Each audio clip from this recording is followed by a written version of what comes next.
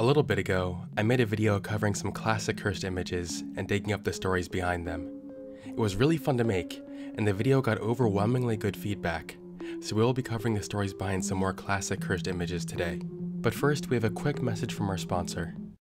This video is sponsored by Casetify. Casetify is the world's most popular tech accessory brand, providing cases that look nice and offer reliable protection. They have a huge array of different designs you can choose from, along with multiple ways to customize your case with your name to make it represent you. Here's a few cool designs I got, along with a customized scare theater case. What's interesting about these is how slim they are while still being protective. They're made with Qìtech 2.0 shock absorbing material, which allows the slim design to have up to 9.8 foot drop protection. I'm not just making this up, I tested it out myself here.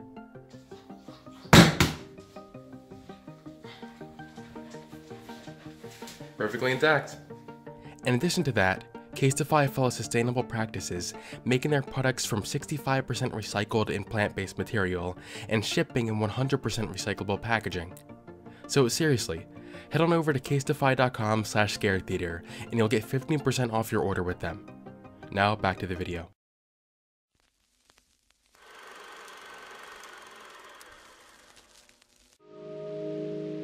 We're going to be starting off with an oldie but a goodie.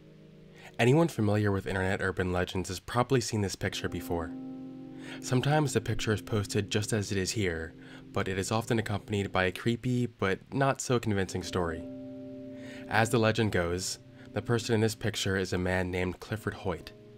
Allegedly, in 1999, at the age of 31, he got into a horrific car accident, leaving him in a comatose state in the hospital. When he woke up, he told a nurse that he had died and visited the depths of hell. After telling the doctors of the horrors he witnessed, he refused psychological treatment and was released. A few weeks later, at his apartment complex, his neighbors complained to the landlord about loud music playing in Hoyt's apartment at all hours of the night. When the landlord went to investigate, he found Hoyt like this. He claimed that demons from hell were still trying to capture him. He played the music to scare them off, and held onto large blocks of ice to soothe his skin, which he said was burning. It is said that the doctors attributed his actions to brain damage he sustained in the car accident, and to this day, he resides in a mental facility in Maryland. There are several variations of this legend floating around. Most of them are the same, but with very minor changes to some details. Some versions say the man's name was Harry Hoyt instead of Clifford Hoyt. Other versions will say that he died in the apartment and have no mention of a mental facility. As with most urban legends, none of this is actually true, as seen by the fact that there is no reliable account of any of this actually happening. The story itself has been debunked plenty of times. Nonetheless, it's still interesting to see exactly where this famous picture actually came from. We can thank the band Vitamin Wig C for this picture. In the late 90s, an electronic band called Vitamin Wig C was formed. They produced some pretty interesting but definitely non-mainstream music. The man in this image is one of the band's members, Josue Rivera. At one of their performances in 2009, someone snapped this picture of him being artistic, I guess, and posted it on flickr.com. Here's another similar image taken of him at the same event. I guess someone just found this picture and decided to caption a creepy story to it.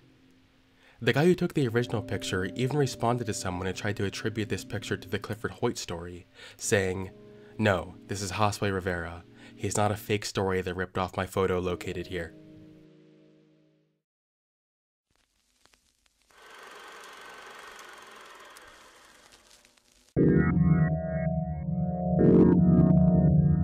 This is another classic cursed image with unknown origins. This one is so bizarre that it is said that one of the mods on the cursed images subreddit named this the most cursed image on the sub. The earliest version of the image I was able to track down was on the Dank Memes from Site19 subreddit on March 1st, 2019, but judging from the comments I've read, the picture is much older than this. There are a lot of theories about what exactly is going on here. Some think it's a guy bathing in mud, some think it's tar, others have said it's some sort of an art piece, but no one is sure what the true answer is. I think I have a pretty good idea though. I was able to find this similar looking image on a Russian social media website. The background of the image looks pretty similar, and even the wooden tub he is in looks awfully similar. And the description of the picture, the user says that he booked a sanatorium in Poland, and while he was there, he was looking at a wall of photographs of procedures carried out there. One of the pictures he saw was of a girl sitting in a barrel of some sort of black liquid. He volunteered to give this a try. While describing his experience, he says, At the first procedure, I carefully examined and studied everything. It was not a barrel, but rather a small wooden oval tub.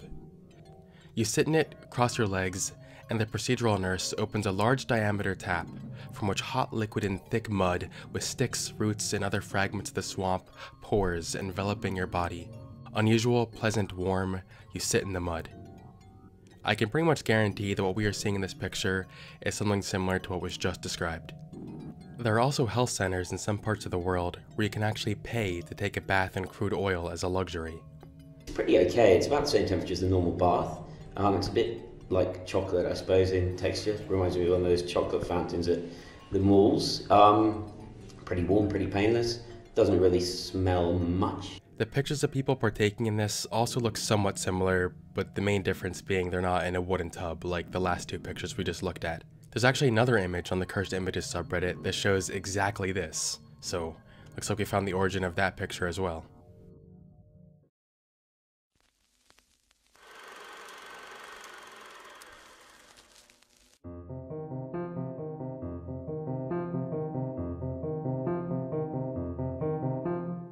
This one is just weird.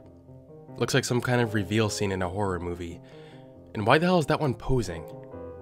This one was actually pretty easy to find the origin of. The original picture was posted to the WTF subreddit on August 19th, 2018 with the title, When in the Attic of a House We Were Looking At, and... Uh, according to the original poster, there was no explanation for why the mannequins were there.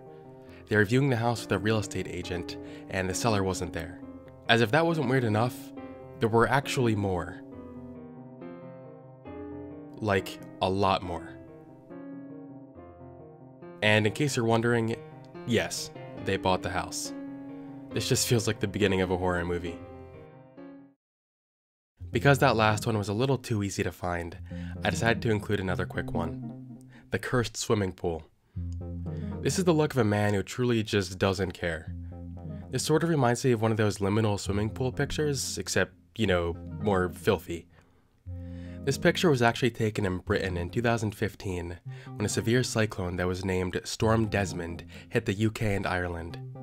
The storm brought extreme flooding to the residents and brought brutal damage to a lot of the homes. Needless to say, it wasn't a fun time. But this 72 year old man, Peter Clarkson, didn't let this bring down his spirit. To increase morale, he decided to go for a swim in the flood, which is when this picture was taken. I think we should all aspire to be as positive as this guy.